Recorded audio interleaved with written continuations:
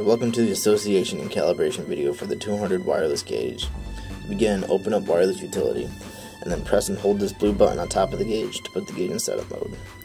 You'll know it's in setup mode when that green light starts to flash.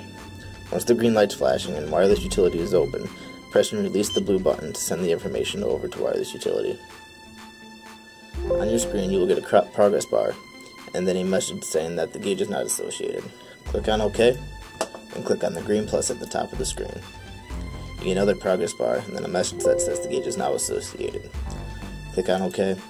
Then one more time, press and release the blue button to populate the gauge inside of the grid. Once the gauge is populated inside of the grid, you will notice that you see 200W instructions to the right of the current wireless gauges associated with the selected base unit. This is a quick start guide. If you click on it, it will open up and show you how to associate and calibrate your gauge. To enter the calibration screen, double click on the number 1 next to the gauge model 200. Give it a second and then the screen will go blank and a new screen will appear. This is your calibration screen. Here you can set any offsets, span, and your timeouts.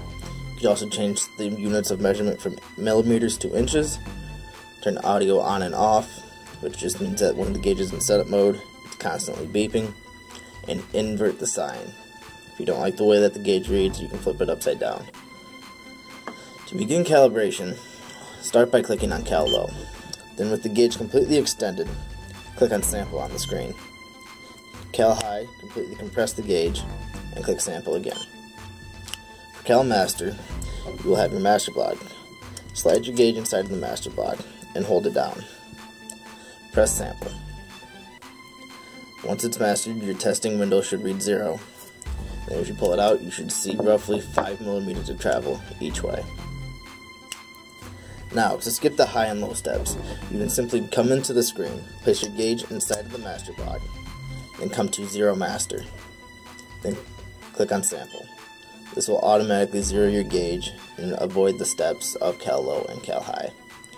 Once you're happy with calibration and your parameters are all set to where you want them, Click on the X at the top of the screen to close the window and save the calibration.